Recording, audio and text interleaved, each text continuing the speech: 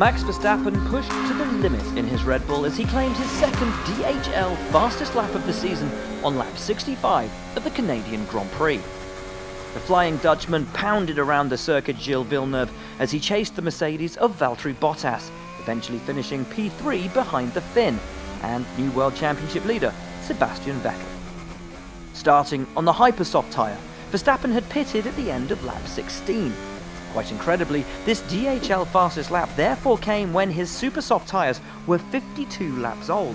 No doubt egged on by the sniff of second position, which the looming, tantalising rear wing of Valtteri Bottas suggested might just be possible.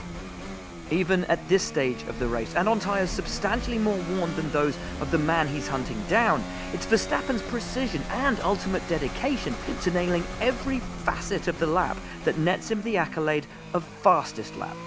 Hunting down the man ahead, he's absolutely in his element as we ride on board a glorious tour of the circuit.